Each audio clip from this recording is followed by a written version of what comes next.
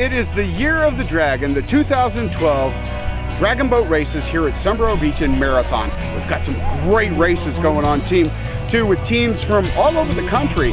Uh, we've got teams that have that do this all the time, professional paddleboat racers. We've got amateurs. We've got them from the high school all the way up. And it's absolutely incredible, some of the action. You can see some of the boats going out here from time to time. We've been having some very, very tight races and it's been pretty exciting so far. The Governor General of the middlemost territories of the Conch Republic for the sounding of the conch shell.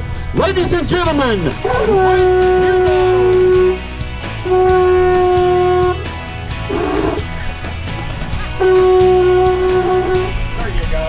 Ladies and gentlemen, Mike Puto and the sounding of the conch shell.